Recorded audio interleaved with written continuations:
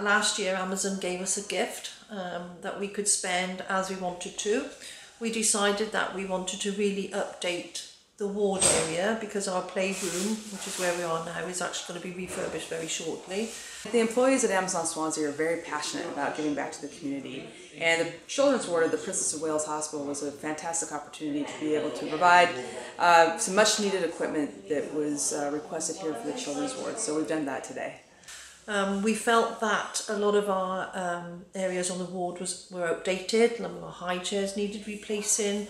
Um, we needed to replace the televisions in the cubicles so that the children can now listen to DVD players.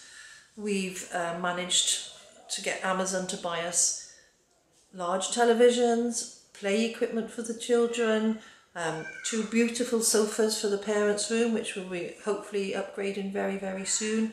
I can't really begin to tell you all the equipment they've allowed us to buy, and on top of that, also a cash donation as well. The staff definitely are keen on being part of the community and giving back and doing events like this. In fact, I brought two members of the uh, the associate forum with me today, two employees that work at my site, and a number of my employees that work at Amazon Swansea uh, have used the facilities here. It is uh, definitely a, a, a, great opportunity to give back to um, a facility that's provided for our, our employees. I'm humbled to sit here and thank them very, very much. I, I can't thank them enough for this wonderful gift. It's been amazing.